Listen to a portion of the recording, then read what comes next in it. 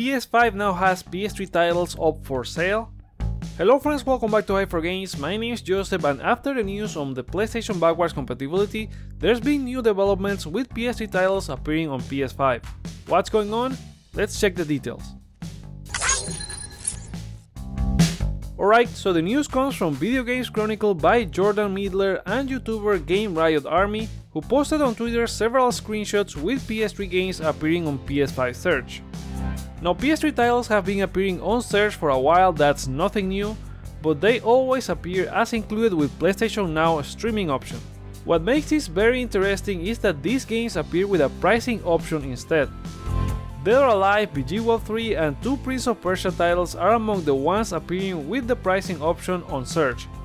I also checked on my PS5 and was able to confirm both Prince of Persia titles with this option.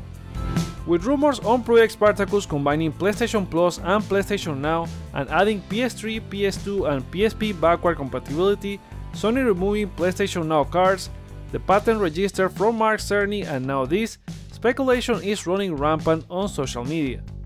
However, as pointed by several sources including Push Square and Mystic Ryan, this is a visual bug that has been happening for quite a while and is pulling prices from the old PlayStation Now price range when you would rent titles individually. It even lists games that were included back then that are not anymore in the service like those Prince of Persia titles. So sadly this is nothing new and doesn't point out to anything specifically on backward compatibility coming to the system, it only seems like weird timing for this bug to be back just as there are so many reports about Project Spartacus launching this spring.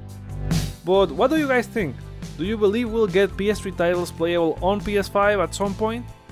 Share your thoughts in the comments below, like or dislike to share your feedback, check out other videos you may like while you're here including details on a possible state of play happening soon, and consider subscribing for more PlayStation content.